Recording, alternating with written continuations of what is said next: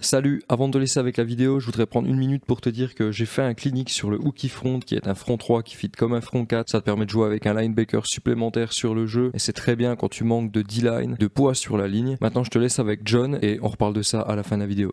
Mais dans le sens, euh, non, je n'ai pas joué à, trop haut niveau. Je pense que je suis pleinement conscient des besoins et des capacités qu'on a en Europe, dans le sens où euh, souvent, à la différence de quand on va engager un Américain pour venir coacher en Europe, lui, il va vouloir faire comme aux États-Unis. Il pense que les joueurs, ils vont avoir 5 jours, 7 jours sur 7 du foot dans la tête, euh, que c'est la seule chose qu'ils font, que le système des études, il est fait pour qu'on fasse du sport, mais c'est faux, ça marche pas comme ça. Souvent, on se retrouve avec des coachs, euh, ils veulent installer trop de choses, trop de choses par rapport à ce que les joueurs sont capables de comprendre, trop de choses par rapport à ce que les joueurs sont capables euh, d'exercer, parce qu'on va pas avoir le même nombre de joueurs à tous les entraînements et on va avoir tous les joueurs à tous les entraînements. Donc, ce qui a été fait le jour 1 de la semaine, par exemple lundi, si le mercredi on a d'autres joueurs et on veut construire sur ce qu'on a fait, ben, ça ne marchera pas parce qu'on n'aura pas les mêmes joueurs qu'on a eu le lundi.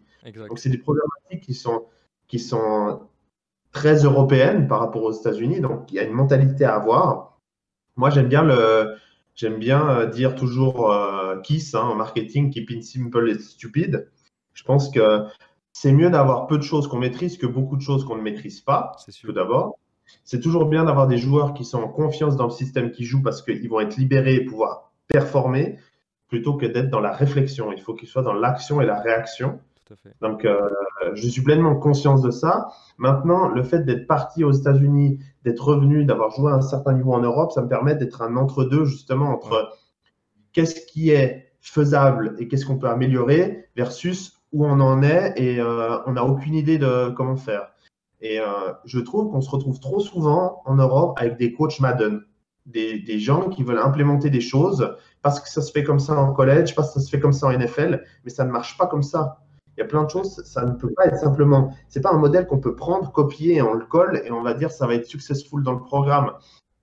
La construction d'un programme de football, elle repose sur plusieurs facteurs. Et ben pour ça, je vous invite à regarder. J'ai fait un clinique euh, sur le sujet disponible gratuitement sur YouTube où j'explique les fondations d'un programme de foot.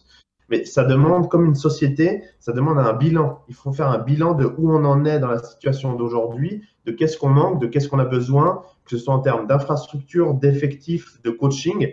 Et quand on a fait ce bilan et qu'on est relativement euh, objectif, donc il faut être faut faire, faut faire preuve de remise en question. Une fois qu'on a fait cette étude, là, on peut se dire, OK, il nous manque ça et on va pouvoir performer. Mais euh, ça demande un certain travail sur soi aussi. Merci d'avoir regardé cette vidéo. Si tu es intéressé par le clinique sur le Wookie, c'est au prix de 20 euros. Ça dure 45 minutes. C'est assez complet. Il y a des slides pour t'aider à implémenter ça. Le lien est dans la description. N'hésite pas à t'abonner si ce n'est pas déjà fait. Moi, je te dis à bientôt.